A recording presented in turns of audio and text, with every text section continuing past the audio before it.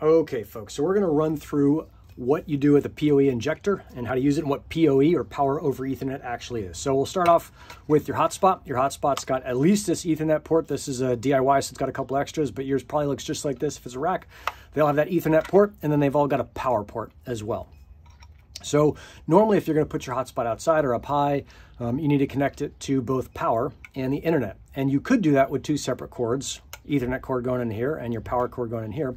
Or you could do it with one long Ethernet cord that carries both power and Ethernet and splits them out at the last minute.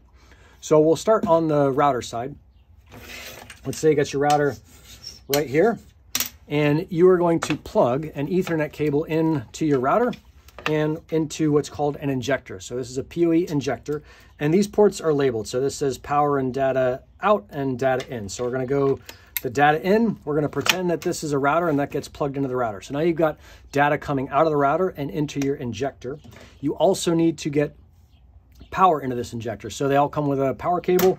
You'll plug the power cable into the other side.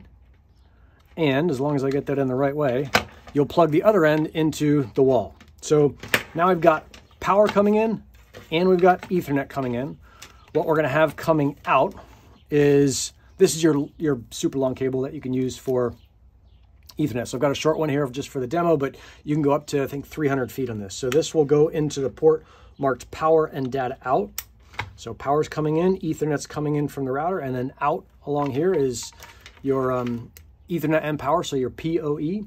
And that on the far side, if that goes into enclosure outside or that goes to a hotspot up in your attic, whatever it is, that's first going to go into what's called a PoE splitter. And that splitter is going to split out the power and the Ethernet. So comes in on this side, it's carrying the power and the Ethernet on this side. This goes out, split out to two cables. You just want to make sure you get the right type of power cable. Some of the different hotspots are powered differently. I've got a RAK, so that's what we got.